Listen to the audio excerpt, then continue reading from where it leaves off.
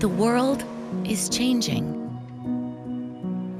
In 2030, you will share it with 8.6 billion people. Most likely, you will live in a city. Digitalization will continue to transform and revolutionize the way you live. Your community will be more global than ever, sharing dreams, ideas, and challenges. Scarce resources and the threat of climate change call for immediate action. Poor air quality, noise, and congestion are forcing us to rethink. The world is changing. Imagine what world you want to live in and what you want to hand over to future generations. Because together, we can shape the world.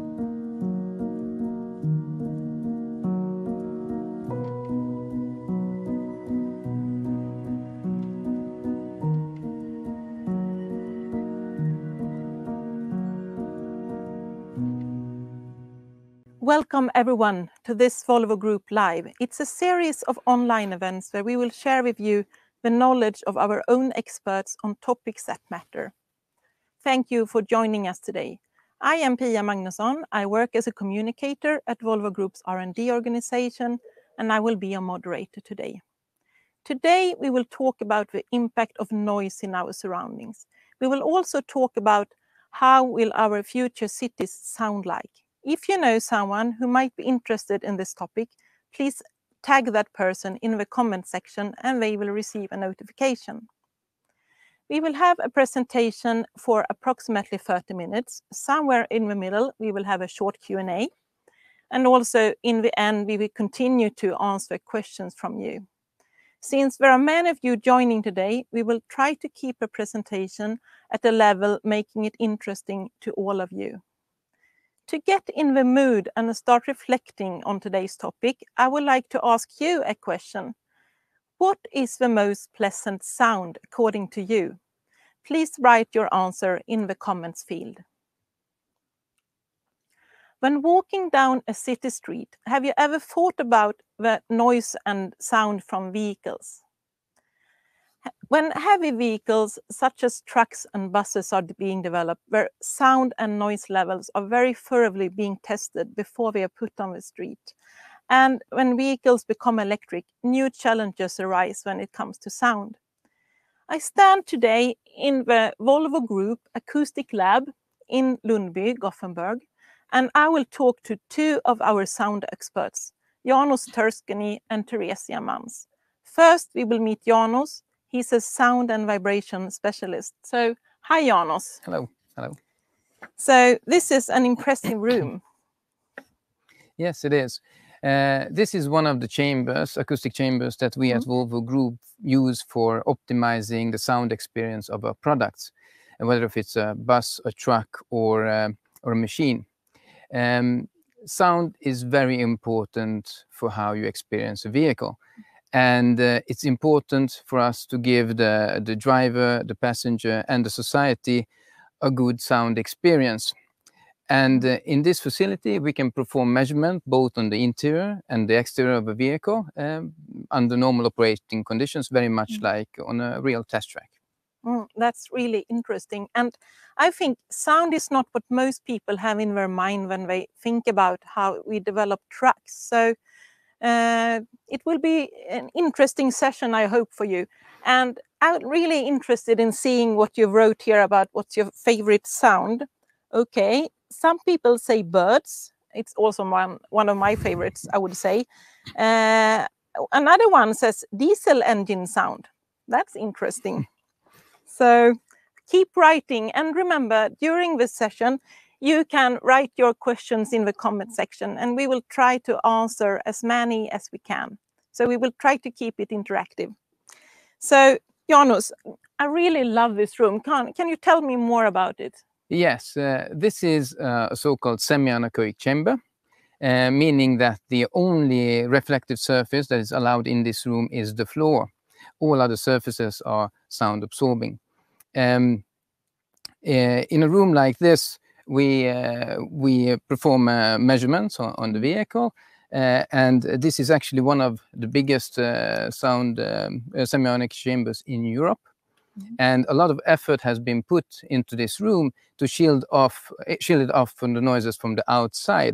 So this room is actually a room within a room, and uh, it is as far as possible physically insulated from the rest of the world. So we make it so it's very very quiet in here. Mm -hmm. So, so what are the things we see on the walls here? Yes, those are sound absorbing wedges. Uh, as I said, uh, as this is a semi-anechoic chamber, the walls needs to be uh, sound absorbing. And um, the, to achieve that, we have wedges on the wall and also uh, to reduce resonances, meaning that we want to reduce the influence of the room on the on our measurement results. The room walls are non-parallel to each other and the roof is non-parallel to the floor so that we can focus on the noise from the measured uh, object. Mm. So is this a wedge we see here? Yes, that is one of the wedges um, mm. over there, mm. and it's um, I can just up yeah. here. Uh, it is it's approximately one meter long. Um, it is for those of you who has not been in a room like this before. I can just mention that this wedge is quite big. It's actually quite huge, mm. and it's it is so big because of the size of the room and also the wide frequency range that we are interested in when we do the measurements. This is made out of uh, mineral wool and it's clad with a uh, fiber cladding. It's mainly to protect it from us. Mm. Yes. Mm. So what is your background when you work as a sound and vibration engineer? Um, I have a master's degree in mechanical engineering. Um, everybody working in the sound lab has a master's degree or a PhD in engineering. And uh, I have been working with acoustics for about 20 years now. And from my experience, acoustics is almost like an art. It's a combination of science, theory, long experience. And you, you have to have this sixth sense of how to combine all these together to achieve your goal, whether if it's to make something quieter or just mm. make it sound right. Mm. So let's start a little bit from the beginning. Why is sound and noise important for us as human beings? Uh, yes, uh, hearing is very important for us human beings. Uh, we use our hearing for multiple purposes. We use our hearing for, uh, um, uh, you know, communications, as we're mm-hmm. doing now. We use our hearing for uh, relaxation when you listen to music or the ocean. You, you, we use our hearing for um, safety purposes as well, uh, quite a lot for that when we listen to alarms or warning sounds. Uh, for example, when you're out walking, uh, you're using your hearing to monitor your environment, to have a feeling of the, if there's a vehicle approaching from behind, or a bicycle, or even another person. Mm -hmm. um, we are Stone Age people in a modern world. Um, human evolution is much has been is much slower than technical evolution, and we are not really designed for live in a noisy environment that we live in, many of us today. Uh, let me give you as an example of this Stone Age functionality. Um, while uh, studies show that while you are sleeping, your brain is monitoring your environment with your hearing. Uh, it listens for uh, for a tiger or perhaps an approaching lion, and if it detects something that is suspicious, it will wake you up and it might trigger your fight or flight instinct. I think just a practical example so we, we feel where we are. I mean, mm. Many of us, uh, I think, has been sometimes uh, in their lives in the situation where you wake up in the middle of the night, you're standing there mm. in the dark and your pulse is pumping and you heard something, but you're not really sure what you heard. And you're standing there waiting for that sound to happen again so you consciously can take a decision whether you should run or whether you should fight. Um, this seems like a very neat functionality, of course, but it has its downside. As I said, we are not designed for living in a noisy environment that we are living in today. And uh, noise actually stresses us. Mm. There are studies shows that uh, exposure to high noise levels will increase the stress hormones in your body, and increased stress hormones could increase your blood pressure, and an increased blood pressure could over time lead to cardiovascular diseases. So a noisy environment is an unhealthy environment. Mm. Do only humans react to noise in this way? How, how is it with animals? Um, animals react in a similar way, both when it comes to their health and the stress hormone uh, part, but also when it comes to mating and survival. Uh, for instance, just to give an example, um, a male bird sings to attract a female bird. If the female bird cannot hear the male bird, uh, they will not find each other. And if they cannot find each other, there will be no baby birds, of course. Uh, and also, if a, a bird is, uh, if a bird cannot hear another bird's warning sound, uh, or if it cannot hear an approaching predator, it might end up as somebody's lunch. Mm, that's very interesting. And, you know, this room can be really silent. Mhm. Not when we are talking, of Mhm. course, but can you describe to our audience how could that complete silence be like? Yes, um, let me try to describe it. Um, imagine yourself standing on a paved road in the middle of nowhere. There is nothing around you. There are no buildings, uh, no trees, and no crickets playing. It's in the middle of the night, and it's there's no wind. It's absolutely calm, absolute silence. That is what it's like in this room. Uh, the silence is almost deafening in this room when you get go in here. Mm. I, I think that's really a good description, deafening silence. Uh, I think we have got some questions, so I think we can try and answer some of them now. That's So we have first one here. Um, what is low frequency noise? Does it have potential to cause discomfort to passengers? If so, then how could it possibly be remedied? Yes. Low frequent noise, we normally say that no frequent, low frequent noise is between 20 to up to around 200 hertz. Uh, yes, it can cause discomfort, it can. And uh, to remedy it, it's, it is possible, but it's more difficult than remedy high frequent noise. Mhm. So here is another question. Yes. Uh, what is the cut-off frequency of this room? Hey, you know that? nah, that is something I unfortunately cannot tell you uh, Okay. due to confidentiality Aha, reasons. Okay, I understand. Yes. So, uh, getting another question here. Um, okay, so uh, I think we will we will come back to the questions later, but please write your questions in the comments. So we would really love to to get a lot of questions. So thank you for those so far.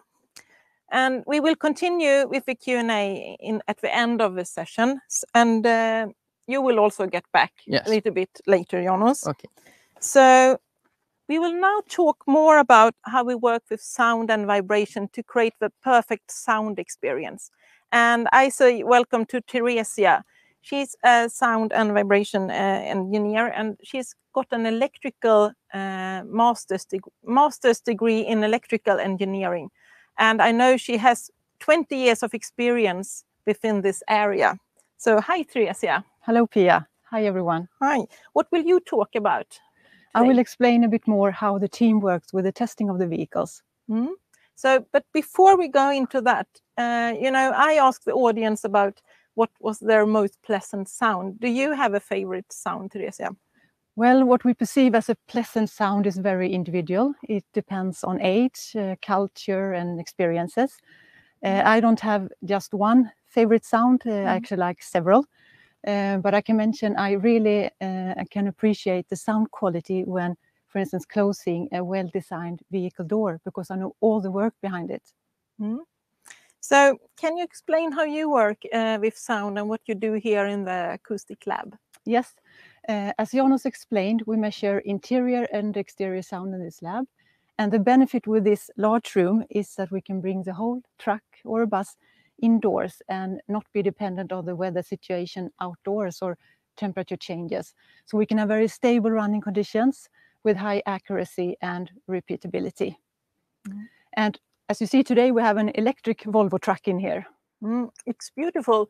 Uh, and we will get back to that a little bit later the, the interesting combination of electric vehicles and sound. So, what is your goal when you work with interior and exterior sound? Is it what is it you want to achieve? Well, we measure interior sound with a goal to create a safe and relaxing working and a resting environment for both driver and the passenger with a premium sound quality. Mm. And there are also legal regulations that all ma- automotive manufacturers must fulfill, which means, for instance, that the sound level from the vehicle it must be below a certain uh, level in decibels or reach a minimum level when it comes to, for instance, electric vehicles, which are very quiet. And uh, we also want to have a low exterior sound level for the people working around the track and for society in general. Mm. And another benefit with this large room is that we, we can bring the whole track indoors and we can simulate the real driving situations in a very good way. So that means we can have the truck running on these rollers, but standing still. And all the microphones you see behind me here are measuring one at a time, simulating the vehicle passing by. Mm, So, so you're simulating the outdoor environment very realistically. So, when do you come into the picture when, when Volvo develops a new truck or a bus? We are involved uh, from the very early stages in the development and Mhm. throughout the whole development cycle of the product. Mm. So, can you explain the measurement process a little bit more in detail? Yes, absolutely. Mm. Uh, we start in the preparation room, which is next to where we are right now.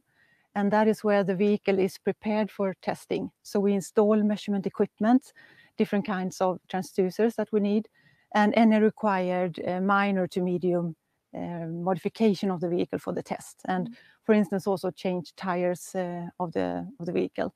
And after that, the, the vehicle is ready to enter the acoustic chamber for testing. And when we perform sound and vibration measurements, uh, a setup can consist of only a few sensors to over 100. So you have to be very thorough in order to get uh, the equipment and all the sensors correctly installed. Let me show you on the electric truck here. Yes, please. So here you can see part of a measurement setup. We have microphones measuring the exterior sound, the radiated sound. We also have microphones in, in the cab. And we have accelerometers mounted here on the vehicle. And they are measuring the vibration of the structure. So with the data collected from these sensors and many more of the vehicle, we can perform many uh, deep analysis and they give us very valuable information about the sound and vibration status of the vehicle at this time in the development phase. Mm. So, so you measure using the sensors on the truck, but how do you know which part of a truck that is making noise? Well, there are several ways of locating a sound source. It depends on, for instance, if it's structure borne or airborne, if you're close to the source in near field or if you're in far, at the far field. And we particularly analyze the frequency content because that gives us a lot of information. So just let me give you an example. Mm. Uh, a rotating component, for instance, a fan on the vehicle, it will create a sound at a specific frequency and that correlates to an order depending on the rotational speed and the number of uh, fan blades in this case. It can be a number of twos on a gear. Uh, and with that information, we can uh, analyze and see what rotating component is contributing to the to the sound. Mhm. So let me show you on the computer here. Mhm. Uh, here you can see some different spectrums of uh, measured data. And in the top left plot, you can see a bright red line. Uh, it's a horizontal white line in the black and white version. And that tells us that it is a rotating component with high energy. And by analyzing what exact order it is, we can correlate with the data we have. We have knowledge of our components. Uh, so we correlate uh, what exact uh, component is rotating at that speed and can take action to improve it. And in a similar way, the lower left plot gives us two key informations. You can see in the middle, there is a broad yellow area. That is a resonance, which means that the structure is easily excited by energy. And you see this diagonal red line. Uh, it's uh, again a rotating component with higher energy. So, uh, and at a certain speed, this the energy from this rotating component will excite the resonance, making the structure vibrate and causing noise. So with this information, we can be proactive and reduce the energy from the source, from the component, or we can modify the structure and, and uh, make it better. So this is, as you see, we can measure with different sensors Mhm. and perform uh, many different uh, test runs. Or we can take a picture of the sound with an acoustic camera. So, acoustic camera, that sounds really interesting. Yes, What is that? Yeah. Let me show you here. Yeah. This is an acoustic camera. Mm. Uh, it's an array of many microphones. And as you can see here on this one, it's a solid sphere. There are f- se- uh, 54 microphones on this one mounted on the surface of uh, the globe here. And uh, they can be an open sphere, like an open grid, or a 2D uh, flat surface grid also. So let me ju- just explain in a very simple way how it works. Mm. Uh, I said there are many, many, uh, many microphones, and the distance and the number of microphones are of importance. And when we use it, we start by taking a picture or scanning the area we want to measure. So it can be uh, the track or part of the track, like the interior of the cab, and that's particularly where we use this one. Uh, and after that, we mount this microphone sphere in the same uh, position as the laser scanner was and perform measurement. And based on the sound pressure level measured by all these different microphones, the system will uh, perform several deep calculations. And the result is a picture of the sound contribution in the cab. Again, let me show you on the computer. Mm. Here you can see uh, the scanned interior of the cab, and it's a scanning of a large volume, which is unwrapped and presented as a 2D picture. So to the left, you can see the driver's seat and the steering wheel. In the middle, you have the front uh, windscreen, and to the right, you can see the passenger seat. And in the left picture here, you can see that the system divides, divides this large scanned surface into much uh, smaller areas. Uh, so it creates a grid or, or a mesh, which is used in the calculation of the sound contribution. And to the right, you can see the microphone sphere mounted inside the cab, ready for measurement. And the first result we get, it's uh, uh, average spectrum of all the microphones. We can also, if you want to look into each individual microphone uh, and, and the result, the response measured. As the frequency spectrum is very wide and um, consists of uh, all no- uh, sounds or noises, we want to find hotspots that we want to investigate more. So we particularly want to uh, divide the frequency range into smaller parts and analyze only that. So as you can see on the screen, there is a, a peak, then a sound increase marked in the box. So we tell the system to zoom in on only that portion and perform a calculation in that frequency band. And the result is, as you can see on the picture here, that um, it's showing in color what part of the interior is uh, contributing to this sound. So with this information, we can take quick action and know what area we need to improve and, and um, work on next step. Thank you, Theresia. This is really Thank you. super interesting. And you will get back later for the Q&A session. Yes. So now when we see more and more electric vehicles on our roads, uh, passenger cars, but also trucks and buses, how does that go with sound? Since electric vehicles, they are so quiet. And I hope Janos will be able to tell me more. So Janos, can you please explain about this? Yes, uh, but first let me give you uh, the big picture here. Uh, the Volvo Group now develops electrical uh, products and vehicles within all of our segments uh, buses, trucks, construction equipment, and also Volvo Penta products. I mean, Volvo Buses alone has already sold 6,500 electric buses worldwide. And we have the goal that all of our products should be fossil fuel free by 2040 we have a focus to make road transport solutions uh, sustainable. Uh, so it's a it's a huge journey. It's a it's a fantastic journey, and we are all proud to be part of it. Yes, me too.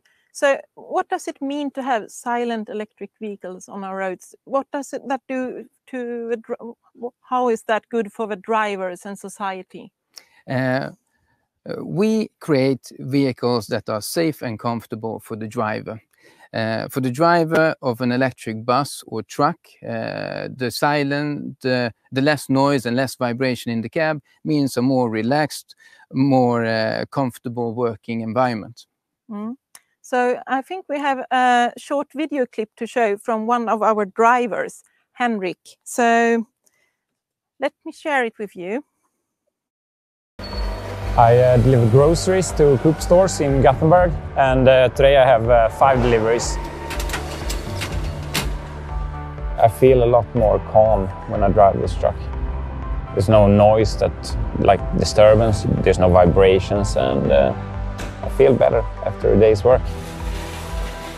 At the end of the day, you're so refreshed and uh, relaxed. You have no noise from the engine and you have no vibrations. Just try it and uh, you don't want to go back. I can promise you that.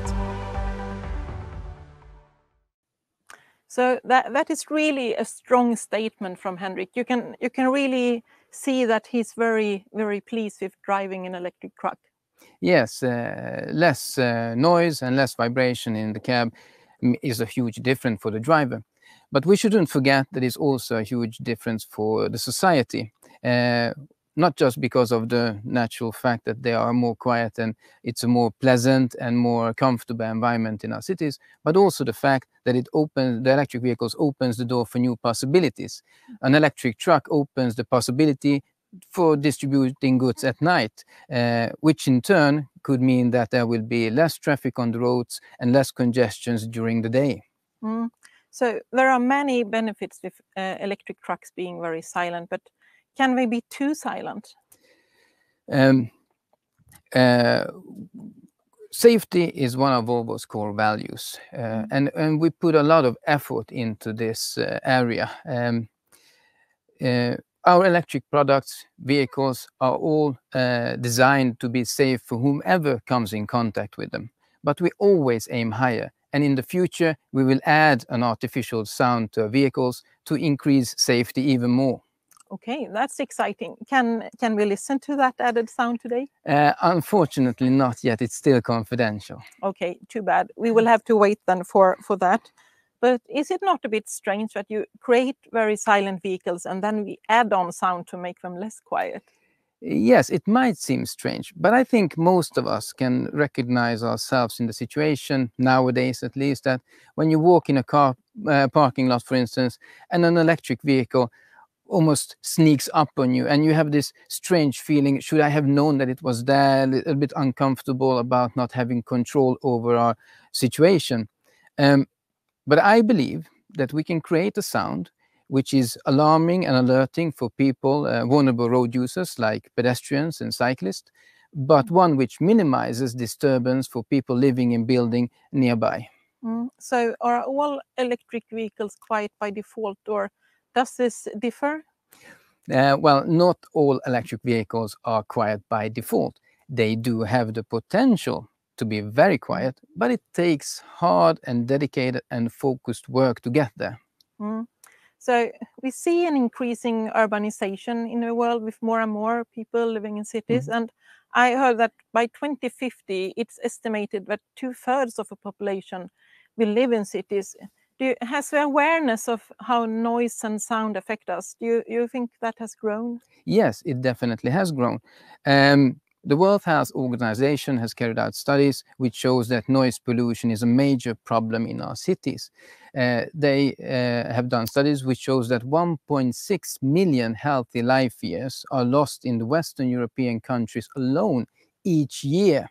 Um, and a pan-European survey shows that 49% of the residents in our cities feel disturbed by noise. Mm, that is a lot. Yes, it is a lot. And a lot of cities today are trying to find solutions to solve the noise pollution problem. Uh, our electric trucks and our uh, uh electric vehicles will help them to achieve their goals and to make uh, to improve the quality of life of millions of people in our cities. Mm. Thank you, Janos. That was really interesting. And if you who are watching are interested in knowing more about how Volvo Group transforms into sustainable transportation, please go to our website and go to the section future of transportation. Now I'm very eager to see if we have got more questions. So welcome back, Theresia, as well. Thank you. So now we have got some plenty of questions. Let me take some here. So I think first we have um, we have got a lot of questions about canceling sound or customizing interior sound. So do you have an answer on that? Uh, how we doing that? Yes, uh, it Yes. is possible to cancel and to add sound if you like uh, for the, the interior sound. Um, with the electric vehicles, the exterior sound will be very low at uh, low speeds. And as Janos explained, that is where we add sound uh, at uh, up to a certain level or speed. Uh, and here's another question. Uh, what kind of noise would you like to keep for electric vehicles? Maybe Janos. You have Uh, an the kind of noises we want to keep for electric vehicles. We want to keep the ones that are communicating sounds, meaning that the driver should have a feeling of what is happening and also for people around the vehicle. Yeah. Mm. I also see a question here about this wedge. And do you know what is the weight of, of one of the wedges? do you know that? Wait, let me look at it. Yeah. I actually don't know, but But but it's not that heavy. Yeah, it's No, it's quite sure, light. maybe. Yeah, Oh. try it. Uh, a few A couple kilos, of maybe? yeah, perhaps a couple Yeah, of kilos. yeah, Yes, it's an interesting question. I never yeah, thought about Yeah, it. maybe we have to, to weigh it afterwards so we can know. Um, so I have another question here. It's um, a bit technical. I think it's uh, uh, maybe you can answer it, Theresia. And it's about what challenge challenges will be seen in terms of internal noise management, as now most of the vehicles have moved from the combustion engine to to electric vehicle engines, and uh, causing internal noise. Uh, So, yes, uh, Shall, maybe it's a bit long question, but yeah. Yeah, I think Mm, I yeah, understand what yeah. they uh, want to know. Uh, yes, with when we now have more electric vehicles, uh, the masking uh, or background sound from the combustion engine will be gone. So a lot of noises or Mm. sound sources which have been there all along will mo- be more audible uh, Mm. with the quiet uh, sound from the electric vehicle. Uh, so that is why sound quality is in high focus and you know, we put a lot of effort into it. Mm. And as I explained also uh, in the test setup, uh, that that is one of the sound or contributions that we are working a lot with and the localization of the sources. Mm. So another question, how can we predict the acoustic turbulence created on the vehicle and what is the damage that this transition can create? Do you know? One of you? I'm not fully The understood. turb- uh, Turbulence, uh, predict the, the turbulence and, and what it uh, will, um, what damage it will do. Maybe it's a bit. Ah, I Uh, think guess the- it's Yeah, aerodynamics. Yeah, it's or, uh, aerodynamics, I guess. yes, Uh, uh, Uh, we do a lot of different studies to to predict those. Mm. Yes. Mm. Okay, how does the tire noise add to track noise? Yeah, because you talked about the tires and you change tires and things Mm. when you test. So Mm. Uh, well, in in here, Yeah. it's uh, we we change the tires because it will otherwise uh, you can have squeaking sound and so on. So we Mm. want to have we focus on uh, not the tire noise in when we do the testing in here, and we know the tire noise contribution because we have measured also at our test track, so we know that contribu- contribution part of it. Mm. Uh, yeah. So how do you add a truck inside this room? How do we add it? Yeah, how, How do- we- does how it get, get in in here? So we have big doors in the back. You don't see them right now, but they are behind the truck. So we drive it in. Mm. We drive the truck into the room. yeah, it's the, the doors are really hidden in here. So so Yeah, mm. it's uh, it. There are wedges also on the doors. It's Yeah. not easy to Yes. see them. No, no. So here's an interesting question. How is good sound defined? Are you working together with psychologists? Uh, we, yes, in a sense, we do. Uh, we are interested in that topic and we review it quite a lot. And uh, as I said earlier, uh, a communicative sound is uh, connected to um, psychoacoustics, as we have said. yeah. Mm. So here's another question about noise cancellation. Um, is it possible to introduce noise, noise cancellation in the driver cabin environment, you know, similar to what we have on headphones?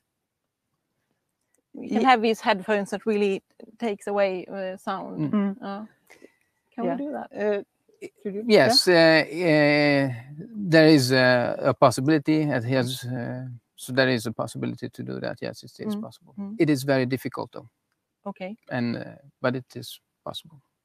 and you yeah and costly so it's uh, Yeah. you have to be also prepared to pay for it Mm. Maybe it's easier to put on the headphones then. so, how to ensure pedestrian security with electric vehicles that we could not hear coming? So, Janos, you talked a little bit about that before.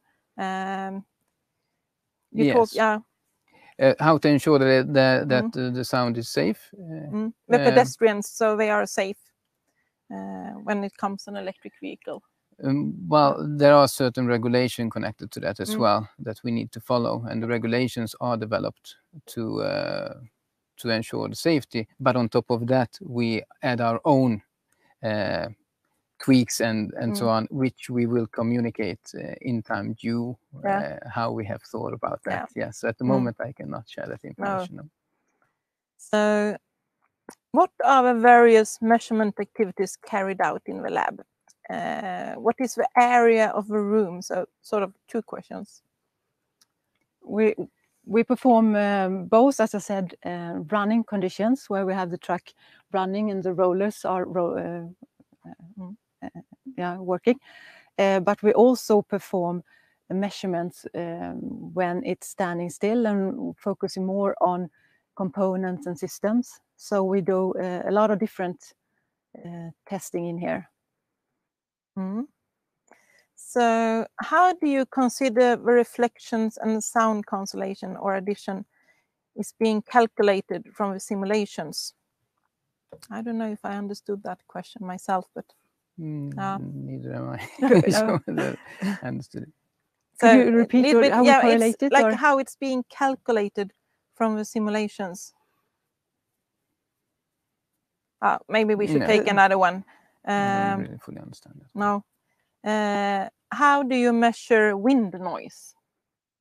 we do measure wind noise in Yeah. different ways Ah. uh, on test track and in facilities Mm. uh, for that type of Mm. measurements. Yes, So it's not done in here. Or um, smaller scale. Yes. Ah. okay. And here is another question. Since it's a quiet room, I'm curious how do you simulate the environment to measure external noise? Hmm. Uh, there are Yeah. multiple ways to do Yeah. that. Uh, normally, that is not that. Uh, the difficulty is actually to get it quiet. It's more difficult to find a, find a quiet environment than to add uh, noise to it. So Okay. So where do you get inspiration for the electric vehicles artificial sounds? Is it for normal combustion engine? Maybe it's a bit confidential this Yes, way. I was, I was already. but it's very interesting loading for- question. for answer that. It is Yeah. still confidential. Okay, Yes, it is. So we, will yeah, communicate it. we will have to wait. yes. So sorry about that.